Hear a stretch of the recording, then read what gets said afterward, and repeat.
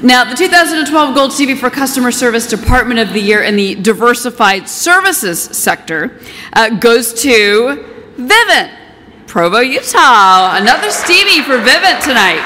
Yes, here to accept their second award tonight is Tom Coleman, Director of Special Projects.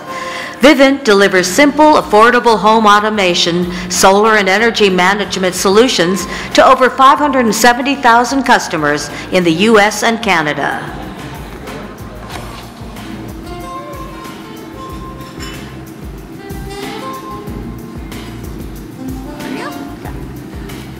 I'm not Tom Coleman either, and I was going to start with a U-Haul, but I decided I'd go for the second thing.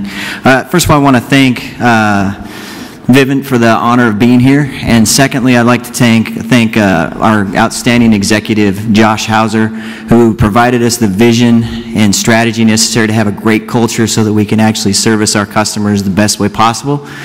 And I'm so grateful for all my management team and all the professionals, and uh, certainly grateful for this honor, and uh, thank you very much.